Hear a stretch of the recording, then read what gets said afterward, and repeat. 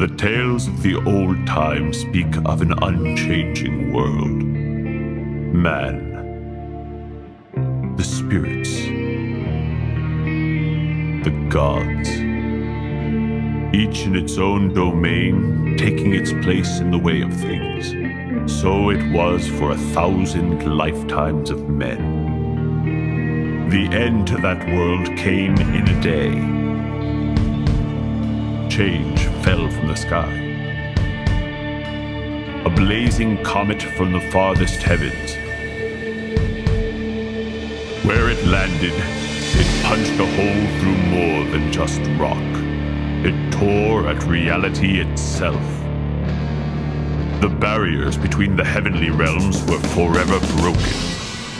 From the smoking crater drifted a new kind of energy that the world of men had never seen. A power called magic. The old world had died. In its place came a world of wonder and possibility. Word spread of this new power. From far off realms, people traveled to the crater to stake their own claim in this newborn world. A city took root. They called it Starfall. It is here that my rebirth truly begins.